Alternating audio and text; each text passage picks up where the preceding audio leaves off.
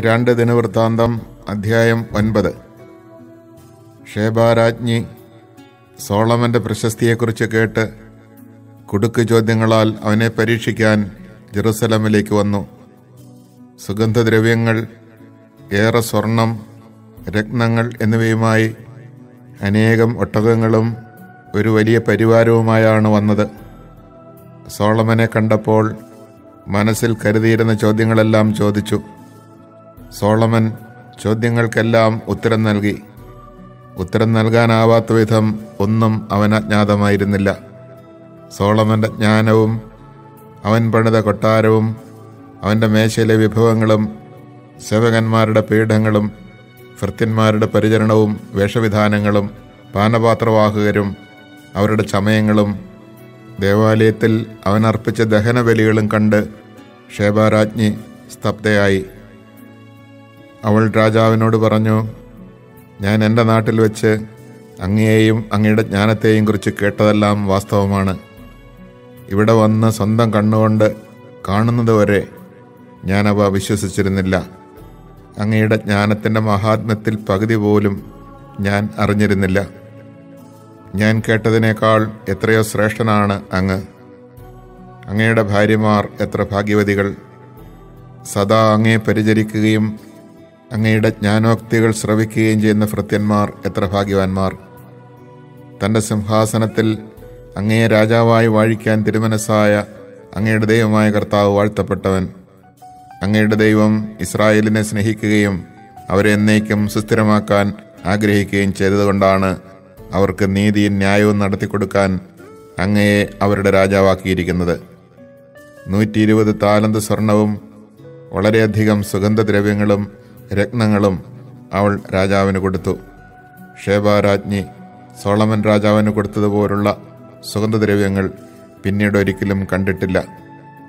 സോളമന്റെയും ഹീരാമിന്റെയും ഭൃത്യന്മാർ ഓഫീറിൽ നിന്ന് പൊന്നിനു പുറമെ രക്തചന്ദനവും രത്നങ്ങളും കൊണ്ടുവന്നിട്ടുണ്ടായിരുന്നു. ചന്ദനത്തടി കൊണ്ട് ദേവാലയത്തിന്റെയും കൊട്ടാരത്തിന്റെയും പടികളും ഗായകർക്ക് വേണ്ട വീണകളും കിന്നരങ്ങളും നിർമ്മിച്ചു. ഇതിനു മുൻപ് യൂതാദേശത്തെങ്ങും ഇതുപോലെയൊന്നും കണ്ടിട്ടില്ല.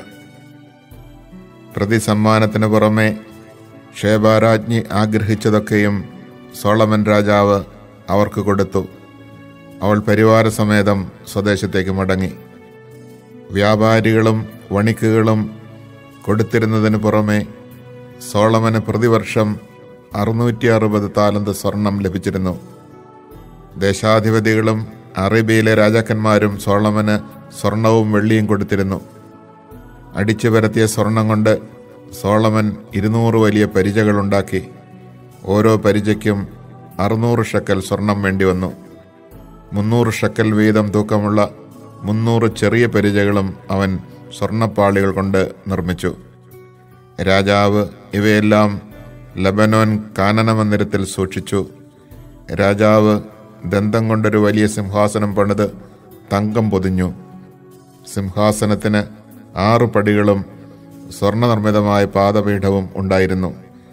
ഇരുവശത്തും കൈത്താങ്ങികളും അതിനടുത്തായി രണ്ട് സിംഹപ്രതിമകളും തീർത്തിരുന്നു. ആറു പടികളിൽ ഇരുവശത്തുമായി പന്ത്രണ്ട് സിംഹങ്ങൾ നിന്നിരുന്നു. ഇത്തരമൊരു ശില്പം മറ്റൊരു രാജ്യത്തും ഉണ്ടായിരുന്നില്ല. സോളമന്റെ പാനപാത്രങ്ങളെല്ലാം സ്വർണനിർമ്മിതമായിരുന്നു. ലെബനോൻ കാനന മന്ദിരത്തിലെ പാത്രങ്ങളെല്ലാം സ്വർണം കൊണ്ടുള്ളതായിരുന്നു. സോളമന്റെ കാലത്ത് വെള്ളിക്ക് വിലയുണ്ടായിരുന്നില്ല. രാജാവിന്റെ കപ്പലുകൾ ഹീരാമന്റെ ഭൃത്യന്മാരുമായി താർഷീഷിലേക്ക് പോകും.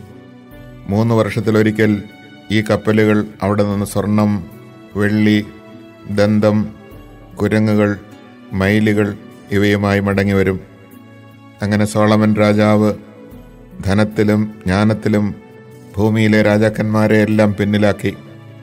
ദൈവം സോളമന് കൊടുത്ത ജ്ഞാനം ശ്രവിക്കാൻ ഭൂമിയിലെ സകല രാജാക്കന്മാരും അവന്റെ സാന്നിധ്യം തേടി.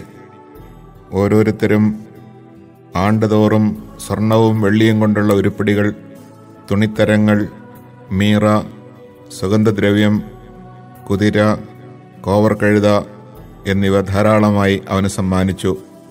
കുതിരകൾക്കും രഥങ്ങൾക്കുമായി നാലായിരം ലായങ്ങളും പന്തീരായിരം കുതിരച്ചേവകരുമുണ്ടായിരുന്നു രാജാവിന്റെ അടുത്ത് ജെറുസലമിലും രഥനഗരങ്ങളിലുമായി അവരെ നിർത്തി. യൂഫ്രട്ടീസ് മുതൽ ഫിലിസ്ത്യദേശം വരെയും ഈജിപ്തിന്റെ അതിർത്തി വരെയുമുള്ള എല്ലാ രാജാക്കന്മാരുടെയും അധിപനായിരുന്നു സോളമൻ. ജെറുസലമിൽ വെള്ളി കല്ലുപോലെ അവൻ സുലഭമാക്കി. ദേവദാരു ഷെഫേല താഴ്വരയിലെ അത്തിമരം പോലെ സമൃദ്ധവുമാക്കി. ഈജിപ്തിൽ നിന്നും മറ്റെല്ലാ ദേശങ്ങളിൽ നിന്നും കുതിരകളെയും സോളമൻ ഇറക്കുമതി ചെയ്തിരുന്നു. സോളമന്റെ ആദ്യാവസാനമുള്ള മറ്റു പ്രവർത്തനങ്ങൾ നാഥാൻ പ്രവാചകന്റെ ചരിത്രത്തിലും ഷീലോന്യനായ അഹിയായുടെ പ്രവചനത്തിലും ദീർഘദർശിയായ ഇദ്ദോനും നെബാത്തിന്റെ മകനായ ജെറോബോമിനെക്കുറിച്ച് ലഭിച്ച ദർശനങ്ങളിലും രേഖപ്പെടുത്തിയിട്ടുണ്ടല്ലോ. സോളമൻ നാൽപ്പത് വർഷം ജെറൂസലമിൽ ഇസ്രായേൽ മുഴുവന്റെയും അധിപനായി വാണു അവൻ പിതാക്കന്മാരോട് ചേർന്നു. തന്റെ പിതാവായ ദാവിദിന്റെ നഗരത്തിൽ സംസ്കരിക്കപ്പെട്ടു. മകൻ റഹോബോവാം ഭരണമേറ്റു. Chapter 9 When the queen of Sheba heard of Solomon's fame, she came to Jerusalem to test him with subtle questions, accompanied by a very numerous retinue, and by camels bearing spices, much gold, and precious stones. She came to Solomon and questioned him on every subject in which she was interested. Solomon explained to her everything she asked about, and there remained nothing hidden from Solomon that he could not explain to her. When the queen of Sheba witnessed Solomon's wisdom, the palace he had built, the food at his table, the seating of his ministers, the attendance of his servants and their dress, his cupbearers and their dress, and the holocaust he offered in the house of the Lord, it took her breath away. The account I heard in my country about your deeds and your wisdom is true, she told the king. Yet I did not believe the report until I came and saw with my own eyes.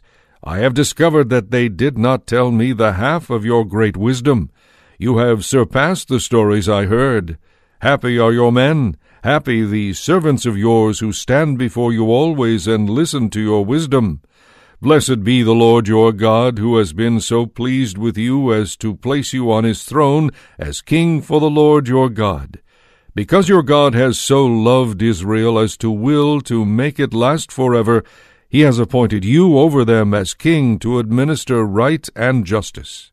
Then she gave the king one hundred and twenty gold talents and a very large quantity of spices, as well as precious stones. There was no other spice like that which the queen of Sheba gave to King Solomon.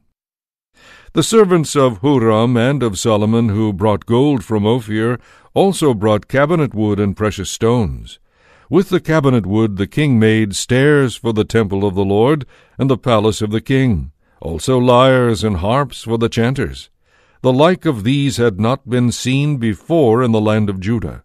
King Solomon gave the queen of Sheba everything she desired and asked him for, more than she had brought to the king. Then she returned to her own country with her servants. The gold that Solomon received each year weighed six hundred and sixty six gold talents, in addition to what was collected from travelers and what the merchants brought.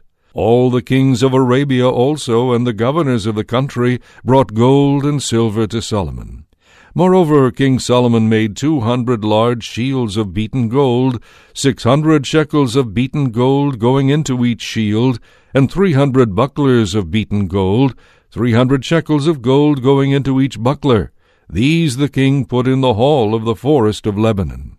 King Solomon also made a large ivory throne which he overlaid with fine gold. The throne had six steps, a footstool of gold was fastened to it, and there was an arm on each side of the seat with two lions standing beside the arms. Twelve other lions also stood there, one on either side of each step.